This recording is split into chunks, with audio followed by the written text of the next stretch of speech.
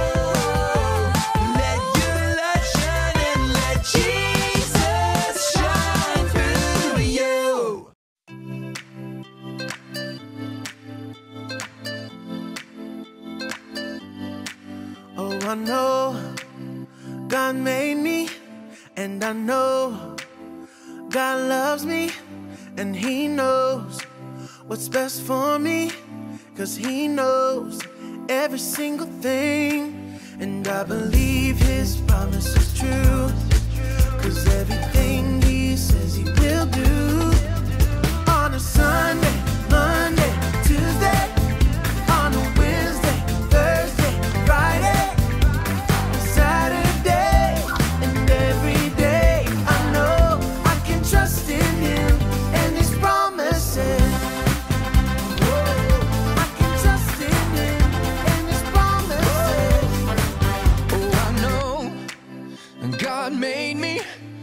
And I know God loves me, yeah, He knows what's best for me.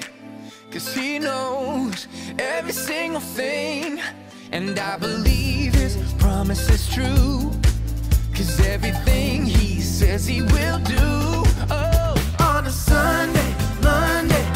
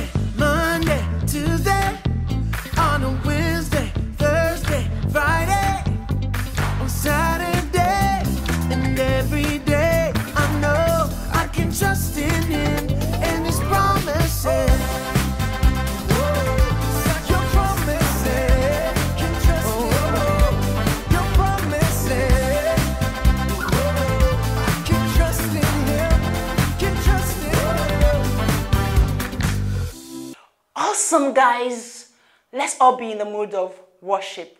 Close your eyes, close your eyes, put your hands together, kneel down, and be in the mood of worship.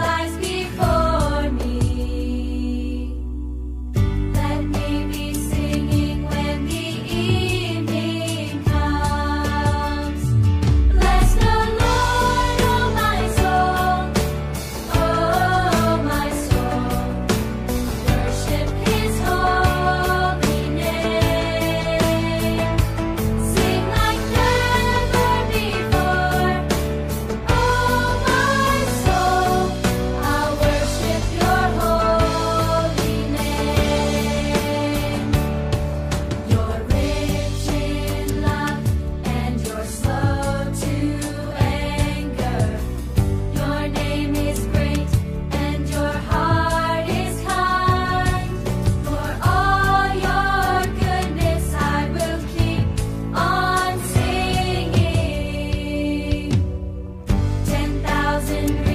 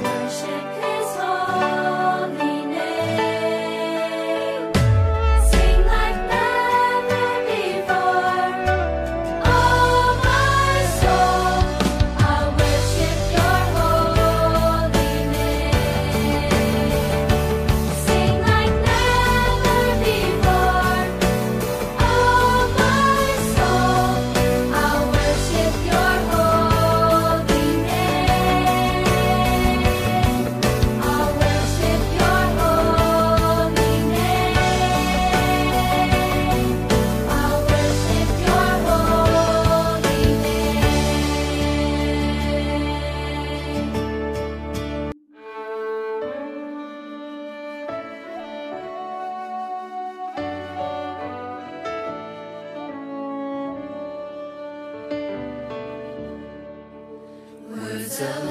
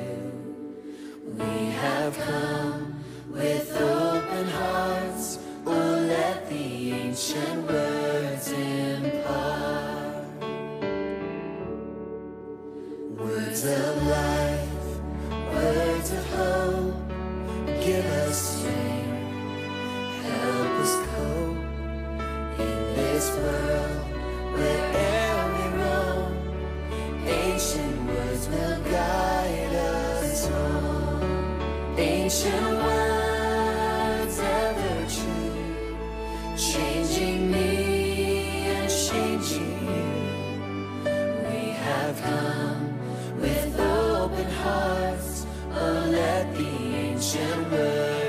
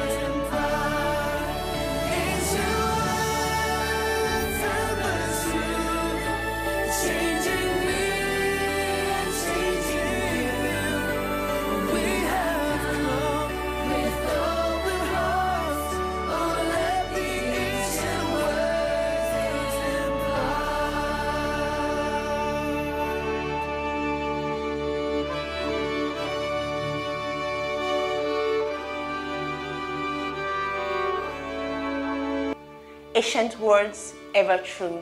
We are so grateful. Lord, even as we go into your word, we ask that you- your word will transform our lives. Your words will make us better. Help us to not just hear your word, help us also be doers of your word in Jesus' name. Thank you, mighty Father, for in Jesus' amazing name we've prayed. Good morning, good morning. Welcome to another amazing, amazing worship experience. I'm saying amazing because today is the first Sunday in the month of September, and so it's Thanksgiving Sunday. Wow, so many reasons to be thankful to God for. Like, I'm alive. Tell me, what are you thankful for? Oh, you've had breakfast. Good. You woke up healthy. So many reasons to be thankful to God for. So today is Thanksgiving. Did you dance enough at the praise and worship experience? Like, did you dance? Because I was dancing as the song was going. I was dancing, dancing, dancing. Because I have to praise God. I am grateful. And we know that praise is loud. Yes, yes, yes, yes. So now let's settle down. It's time for us to dive into the Word of God. Before we do that, what's the first thing we do? No, we don't check the five items first. What do we do? Tell me. You are correct. We say our greetings. Now turn to your neighbor and say, Good morning. Now turn to your other neighbor and say, Good morning. Then you wave your hands and say, Good morning, good morning, good morning, good morning. Now it's time for us to check those five items you talked about. So bring out your files, all neatly packed up, and let's check.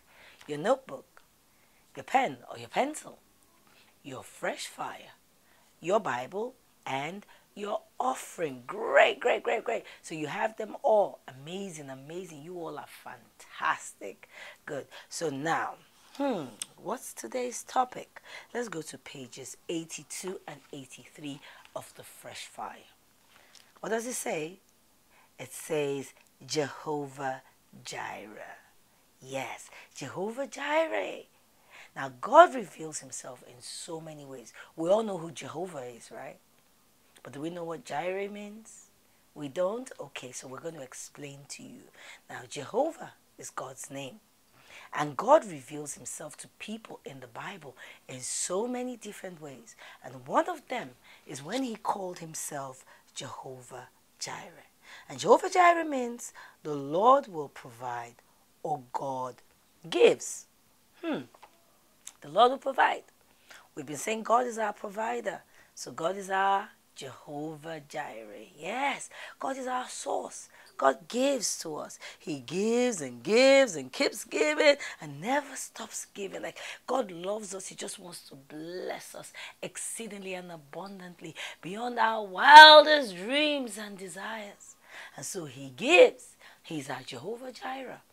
And today we're going to be studying about somebody in the Bible that God gave. And that person is Abraham.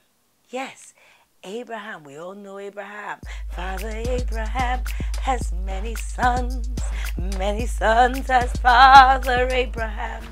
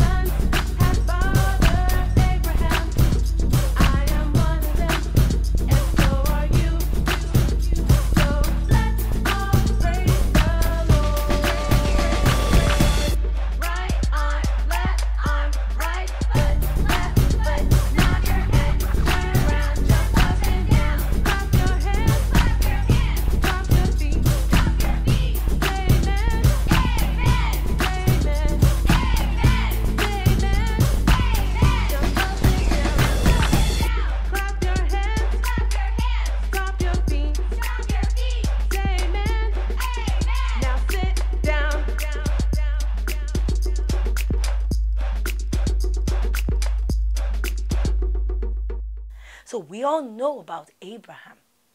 And Abraham, the father of so many nations. Remember when we we're talking about the story of how Abraham didn't have a child and the angels came and after he treated them nicely, they sent a message from God saying that he was going to have children and he was going to be the father of many nations and he was shocked and his wife laughed. Remember, and the angels were like, Why are you laughing? By this time next year, you'll be with a child. So that child, his name is Isaac. Yes. So Abraham had baby Isaac. But God did something with baby Isaac. Something that could shock you, could shock me. But remember that Jehovah Jireh is our provider. So now in Genesis 22, God tested Abraham. He asked him to sacrifice Isaac. What sacrifice? Okay, it means to give up Isaac for him. So he was going to have to kill Isaac, yes. Ooh, you're not happy about that? Relax. God is our provider. So if God tells you anything, you say, Yes, Lord. Anything God tells you to do, you do because God knows best. Now, God told him to sacrifice Isaac, and Abraham made up his mind to obey. Like we always say, obedience is better than sacrifice, and we must always obey God. Now, Abraham made up his mind to obey God. Amazing, right? Like, go and sacrifice your child, your only child that you waited for so many years to have. And you're like, okay, God, that's fine. I'm going to do it. That's what Abraham did. So early in the morning, Abraham set out with Isaac. I'm sure Isaac didn't even know where he was going to. I'm sure he was wondering, where's daddy taking me to? And daddy's like, we're going to sacrifice to God. And Isaac was like, where is what we're going to use to sacrifice to God? Because then those days, now we sacrifice with our praise and our worship and our offerings and our tithes. But then they would sacrifice animals, goat and sheep. Ooh, you like goat meat? Yes, I do too. So Abraham was going to sacrifice. Isaac would have wondered. But as they journeyed, something interesting happened in Genesis 22 7 to 8. Let's go there. We there? It says, Isaac said to his father Abraham, Father! Abraham answered, Yes, my son. Isaac said, We have the fire and the wood, but where is the lamb we will burn as a sacrifice? Abraham answered, God will give us the lamb for the sacrifice, my son. Hmm. Abraham had no idea that something was going to happen in the future that had to do with what he just said. And just like Isaac, I'm sure you and I will be so curious like, this is the wood, this is the fire, this is the fuel, this is all we need. Where is the lamb? Where is the goat? Where is the sheep? Where is the chicken? Where is the animal? Just like Isaac, we would also think, and you know, it would have broken Abraham's heart to say, You are the sacrifice. Hmm But he said, God will provide. Jehovah Jireh will provide because he's our provider. He's our source. He is the one that gives us. So God will provide. Hmm. What now happens? Now the Bible tells us that when it was time for that sacrifice, God didn't let Abraham kill his son. No. God didn't. Remember, it was the same God who said, Go and sacrifice your son. And Abraham said, Yes, Lord, I'm going. He obeyed. But then, when it was time, God didn't let Abraham sacrifice his son. You're happy, right? You were scared before. God will not let any evil happen to you. God loves you exceedingly and abundantly, beyond even your wildest dreams and desires. Now, let's read what happened in Genesis 22 13 to 14. It says, Then Abraham looked up and saw a male sheep. Its horns were caught in a bush. So Abraham went and took the sheep and killed it. He offered it as a whole burnt offering to God. Abraham's son was saved. So Abraham named that place the Lord gives. Even today, people say, On the mountain of the Lord it will be given. Yes, God revealed himself as our provider. He revealed to Abraham that I'm going to provide. And there is a mountain now that everyone says God gives. God reveals himself to us as our provider, as the one who provides for us when we need. All we need to do is ask. Yes, we need to ask in prayer. And he will provide according to his riches and glory. And the whole earth is his. The fullness of the earth is God's. Everything belongs to God. Do you think it was a coincidence that there was a sheep caught in the bushes? No! God had already provided that. God had already kept it. He just wanted to check if Abraham will be obedient, if Abraham will listen and do what he has asked him to do. That's all God wanted to know. Abraham offers Isaac. After God gave Abraham a son, God asked him to do something that was harder than anything he had ever done before. If Abraham obeyed God's instructions, it would show that he had learned to trust God with all his heart.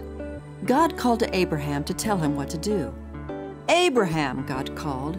Here I am, Abraham replied. I want you to take your only son Isaac, whom you love, to Moriah, God instructed. I will guide you to a mountain where I want you to sacrifice him as a burnt offering. Abraham could have replied, What? Are you crazy? I'm not doing that. But he did not say anything like that. Instead, he got up early the next morning, saddled his donkey, split the wood for the burnt offering, and left for Moriah with Isaac and two servants. Abraham also took the wood, a knife, some fire, and some food. It took Abraham three days to get to Moriah. While he rested each night, he would have looked up at the countless stars in the sky. Those stars would have reminded Abraham of God's promise to make Abraham's descendants through his son Isaac as countless as the stars in the sky. Abraham believed God would somehow keep his promise. On the last day of the journey, Abraham spotted God's chosen mountain in the distance. He said to the two servants, Wait here while Isaac and I go on to worship, and then we will return. Abraham was confident that he would come back down the mountain with Isaac. He knew God was somehow going to provide. Abraham laid the wood for the sacrifice on Isaac to carry, and took the fire and the knife in his own hands. This made Isaac wonder. Father, he asked, we have the fire and the wood, but where's the lamb for the sacrifice? Abraham didn't tell Isaac that he was the sacrifice. Instead, he said, My son, God will provide a lamb for a burnt offering. His father's answer satisfied Isaac, and they went up the mountain together. There, Abraham built an altar for the sacrifice and arranged the wood on the altar. Then Abraham turned to Isaac and tied his hands and feet together and laid him on the altar on top of the wood. Isaac knew for sure that he was the sacrifice. We don't know if he said anything to his father, and we don't know how he felt. But he must have been frightened as he saw his father raise the knife to kill him. As Isaac braced for the blow from the knife that would end his life, the angel of the Lord cried out, Abraham, Abraham! Abraham lowered the knife to his side and responded, Here I am. He knew God was talking to him. God told Abraham not to harm his son. I know you respect me because you didn't withhold your only son from me, God said. God was pleased with Abraham's obedience. Just then, Abraham saw a ram with its horns caught in a thicket. The ram was stuck and couldn't run away. Abraham knew God had provided the ram to take Isaac's place on the altar. He untied Isaac and then loosed the ram from the thicket. Abraham and Isaac rejoiced to have the ram to sacrifice on the altar. Abraham took the ram and sacrificed it instead of Isaac. So Abraham would always remember what God did for him. He called the name of the place, The Lord Will Provide. And that's exactly what God had done. He provided a substitute to take Isaac's place on the altar. God's angel spoke again to Abraham and told him that all the nations of the earth would be blessed through one of his descendants. That blessing is Jesus Christ. He came to earth and died on the cross for our sins as our substitute. If we trust in Him for salvation, we will be delivered from the penalty for our sins and we will spend eternity with Jesus in heaven. Are you obedient to God? When God tells you, don't lie, do you obey? Don't steal, do you obey? Don't cheat, do you obey? Don't bully, do you obey? We're getting ready to go back to school. Are we going to obey God? Hey kids, have you ever tried to build a creation out of Legos? Maybe you're trying to build a car, but you didn't follow any of the instructions because you were sure that you knew how to do it by yourself. That Lego creation probably turned out looking like a messy blob, and definitely not a car.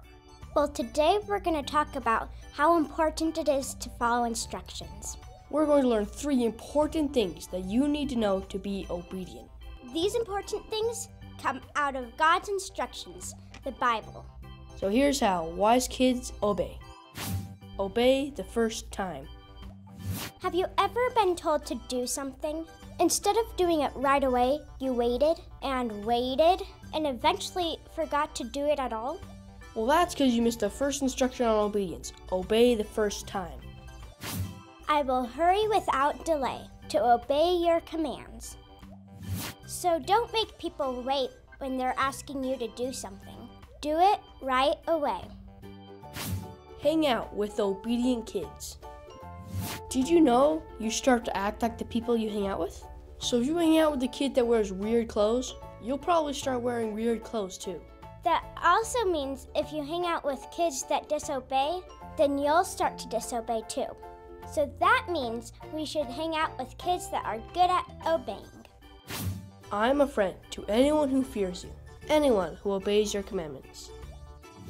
So if your friends don't obey your parents and teachers, maybe it's time to find some new friends. Never stop obeying. You don't just stop obeying once you're an adult. You still have to obey God and His instructions. I will keep on obeying your instructions forever and ever.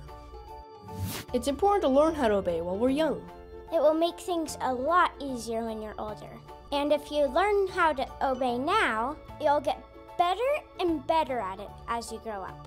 So, kids, next time you're building with Legos and you don't think you need the instructions, remember this lesson.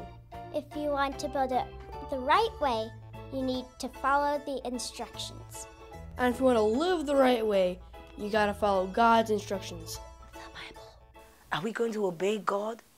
And let everyone in school know that we are children of God. And so we only do good and godly things. We will not move with the crowd that does the wrong things because our God is our provider. He's our Jehovah Jireh. Yes, He's our source. He gives to us. And He will give us good things, godly things, amazing things, fantastic things because God is so cool. Yes, yes, yes. Praise God. What did we learn today? We learned that Jireh means God gives, God is our provider. And we talked about Abraham, who God had told to sacrifice his son Isaac. And when they got to the place, God said, Don't touch my son. And he provided what Abraham was going to use for the sacrifice. And of course, Abraham sacrificed to God. So obedience is important. But let's remember that God is our source and God is our provider. Now let's go to pages 83. We see a picture. We see Abraham, we see Isaac. Abraham is so excited. He opened up his hand. I'm sure that's when he looked up and God provided what he was going to do. Yes. And then we see the sheep that is caught in the bushes. Even the donkey and the chameleon, they're all so happy. Everyone is happy because God is our provider. Yes. And when we go call God by his names, he shows up in our lives and in our situations because God is so cool. Now the picture, let's circle what God has provided. What has God provided? Let's circle it and then let's color the picture. Remember, all things bright and beautiful. So let's make it beautiful. Let's make it bright. It's time for us to take our life application. So now let's all stand up. Put your right hand where? On your chest and repeat after me. The Lord is my provider. The Lord will provide for me. I will call God by his names. Now let's say this again, together this time. The Lord is my provider. The Lord will provide for me. I will call God by his names. Yes, yes. Now let's sit down. Let's sit down. Remember, we are still studying, so eliminate all forms of distraction.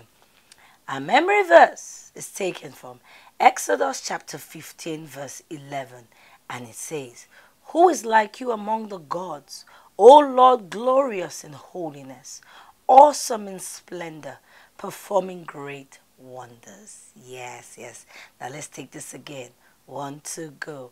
Our memory verse is taken from Exodus chapter 15, verse 11, and it says, Who is like you among the gods, O Lord, glorious in holiness, awesome in splendor, performing great wonders? Like who?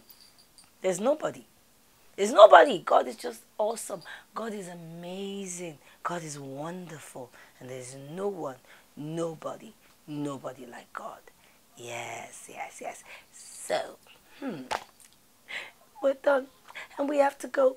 And I don't want to go because there's so many exciting things in Jesus. But then we have to pray. But the cool thing today is that our prayer is a song. Yes. So you're going to sing along the song that says, Jehovah Jireh, my provider, his grace is sufficient for me. In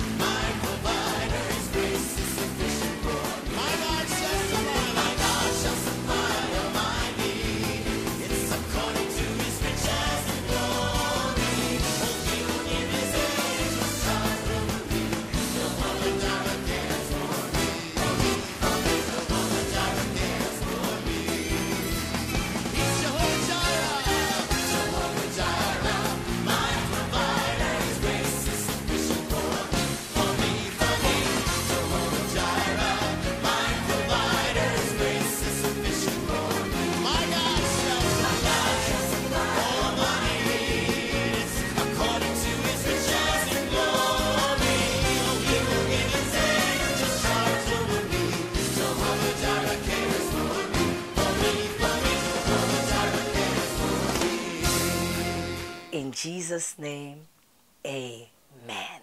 Now it's time for me to go. But before we go, we still need to remind you of your hygiene. Schools are about to resume. Remember the song. Let's sing it together. One, two, go. Wash your hands, wash your hands, clean, clean, clean. Wash your hands, wash your hands, clean, clean, clean. Wash your hands for how long? 20 seconds. Use your sanitizers, your face masks, and your face shields.